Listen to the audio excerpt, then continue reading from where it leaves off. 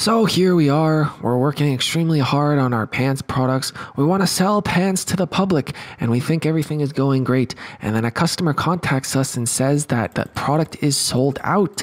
They can add it here, for example, but they can't check out. We have a sold out tag here.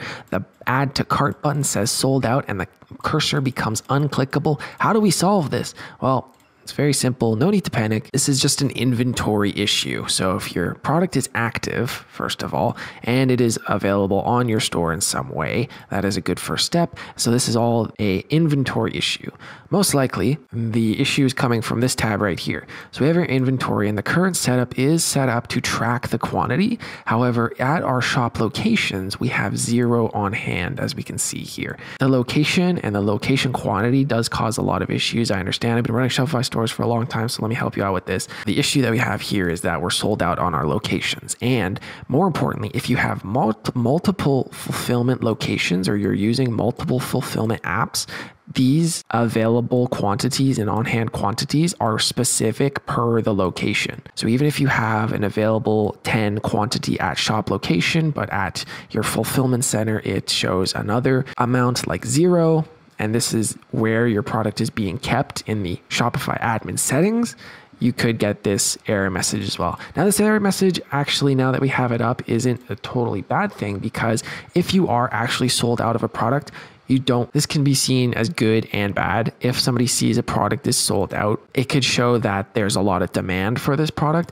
another thing that you could do is you if you go to your default theme content here and you search for sold out you could also change this as a branding idea and you can change this to anything you want. So, for example, you could change it to coming soon.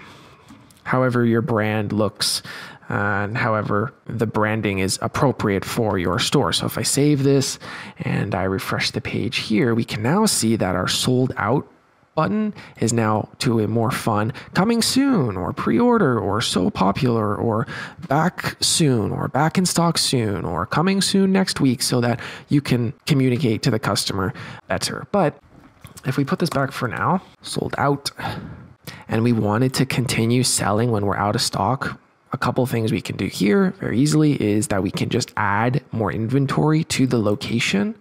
And if we do this, we can add a few here to available, hit save, give this a refresh. We can now see that the sold out icon here at the top and the sold out button is now an add to cart button because now we have inventory.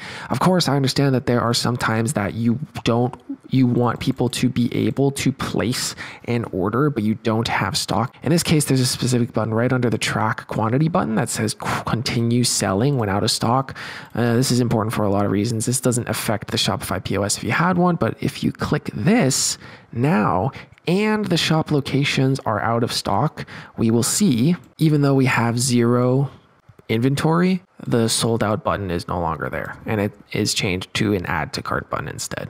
So this gives us some flexibility and helps brainstorm different ideas and different fulfillment center locations. I find in my time, if there's ever an error message at checkout or we're shipping or anything like that, it's usually always, not always, but it is highly likely that there is an inventory issue. So if you ever have an error at checkout or somebody can't check out and they contact you saying they can't check out or something's gone wrong, I would always just double check the shop locations inventory is accurate and then there are shipping settings for this specific location, especially if you have multiple locations in your settings in your admin. Just wanted to make this quick video for you guys as checkout issues, inventory issues are very common when you're running your e-commerce store and you don't have time to fiddle around with these things.